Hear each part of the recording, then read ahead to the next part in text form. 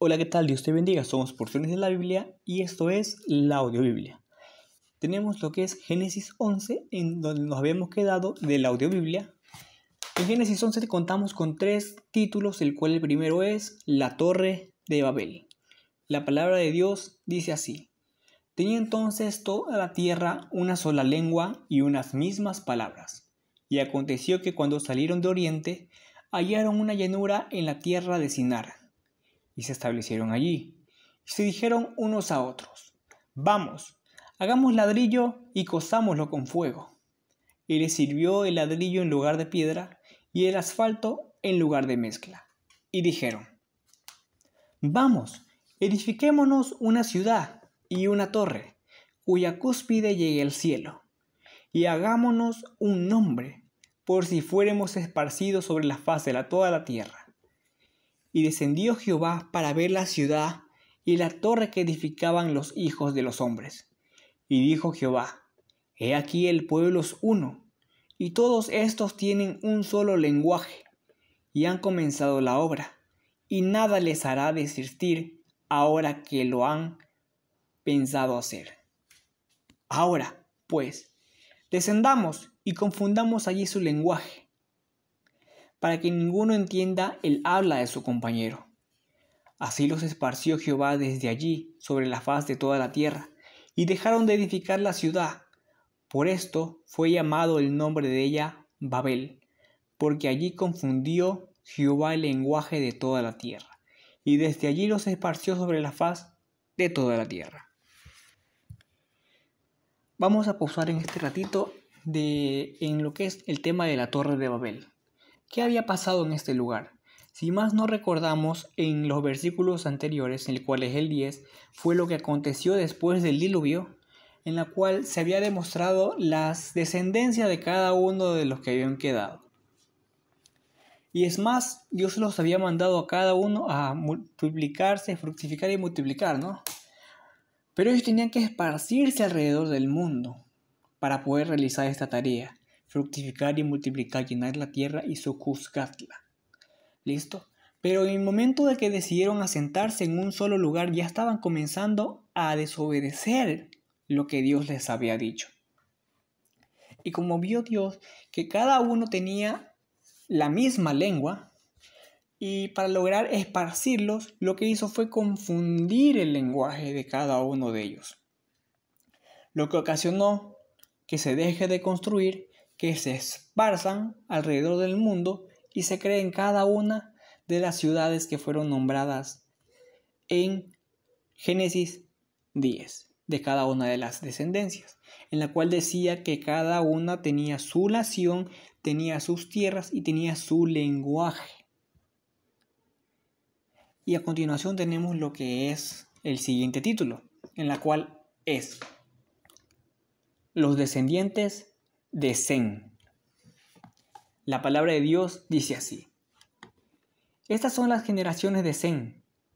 Zen, de edad de 100 años, engendró a Arphaxad dos años después del diluvio y vivió Zen y después de que engendró a Arphaxad 500 años y engendró hijos e hijas.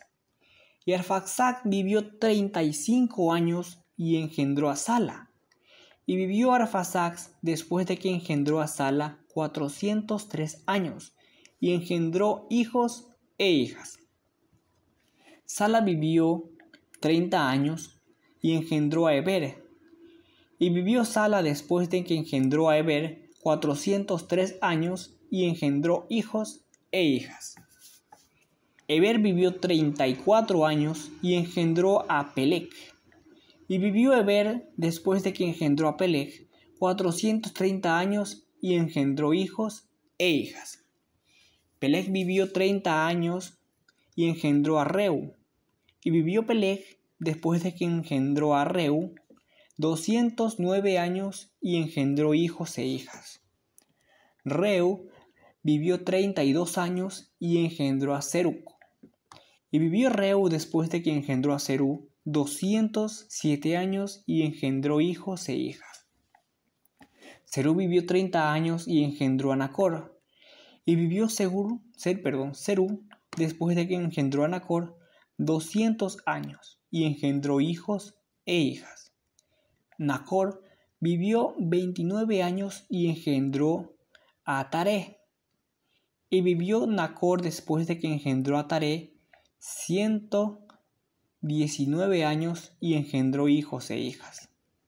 Taré vivió 70 años y engendró a Abraham, a Nacor y a Arán.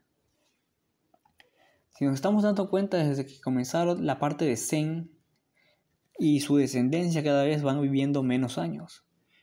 Desde que lo que vivió Zen fue un aproximado, bueno, fueron 500 años. Fueron 500 años. Y ya en la parte que dice Nacor, ya vivió menos. 119 años. Una gran diferencia. Dice, los descendientes de Taré. Este es el tercer título. Estas son las generaciones de Taré. Taré engendró a Abraham, a Nacor y a Arán. Y Arán engendró a Lot, y murió Arán antes que su padre Taré, en la tierra de su nacimiento, en Ur, de los caldeos. Y tomaron Abraham y Nacor para sí mujeres. El nombre de la mujer de Abraham era Sarai, y el nombre de la mujer de Nacor, Milca, hija de Arán, padre de Milca y de Isca.